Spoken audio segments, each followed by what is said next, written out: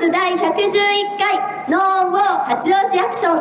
111回です。本日の司会を務めます弁護士の白川由里子です。よろしくお願いいたします。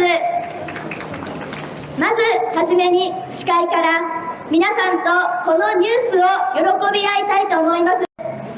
核兵器廃絶を求めて草の根で活動してきました被爆者の団体日本被団協がノーベル平和賞を受賞しましたノーウォー八王子アクションでいつもお話をしてくださる被爆者の上田さんと一緒に喜びたいと思います。核兵器の廃絶これが国際社会の声です。